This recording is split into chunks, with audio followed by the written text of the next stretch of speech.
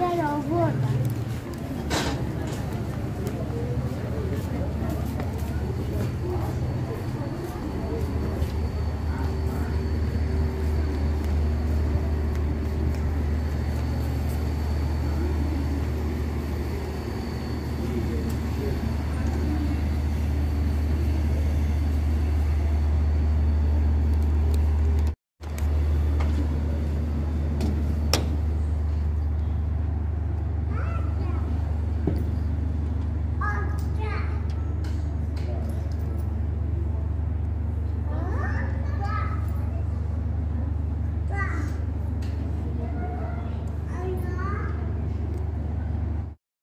در مورد مسجد اسم مسجد چیه؟ مسجد قدیمی گفتن مسجد حمالا.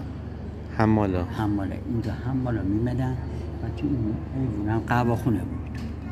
می فقط حمالا میمونن مثلا بازار یا بازار نمیدن میمدم اما اسمش مسجد حمالا بود. ولی اسمش عوض کردن آقای مهدوی شب اینجا نماز می‌خونه.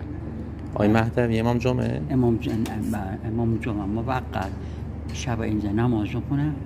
ارزم بزرگ شما است که حاج آقا اسمی مسجد گفتن مسجد بقیت مسجد صاحب از زمان آها مسجد صاحب از زمان آقای مهدوی گذاشتن چند وقته که اینجا نو ساز شده اینجا در حدود تقریبا ارزم بزرگ 45 سال هست 45 ساله که این وضعش عوض شده عوض شد. قبلش با چوب بود همش چوبا آه، تاق چشمه بود. تاق و چشم یعنی چی مثل مسجدی حکیم مثل مسجد جامعه تاق چشمه بودی درسته و و الان چیز خیرش هم خود همون بازار یا همین چیزا؟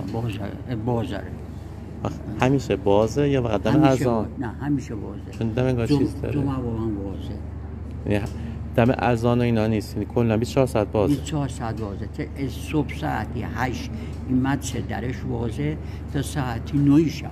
قدمتش رو نمی‌دونین چقدره چند ساله؟ این خیلی سال داره. چون قدیمی بوده سا تا چشمه بوده سا تا شاید مال 200 سال پیش از این بوده. دستتون درد نکنه متشکرم. خودتون معرفی می‌کنی؟ من سید احمد لوح موسوی هستم.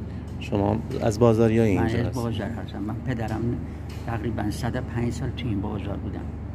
خانواده نسل در نسل توی بله، بازار بود بازار بودم. خودم. هم هفتاد یک سال است این بازار سلامتی انشاءالله. خدا حفظتون کنه. دستتون درد نکنه.